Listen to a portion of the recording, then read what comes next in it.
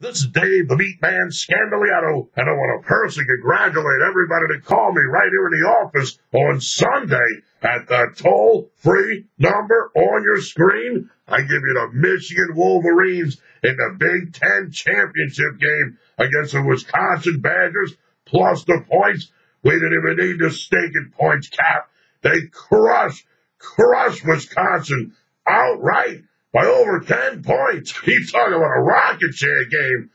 Now, if you keep getting crushed betting college basketball and need a great pig bailout winner on Thursday in an opening round NCAA college basketball tournament matchup between the Virginia Tech Hokies and the Wisconsin Badgers, pick the phone up. Give me a call right here in the office. I'm waiting to talk with you.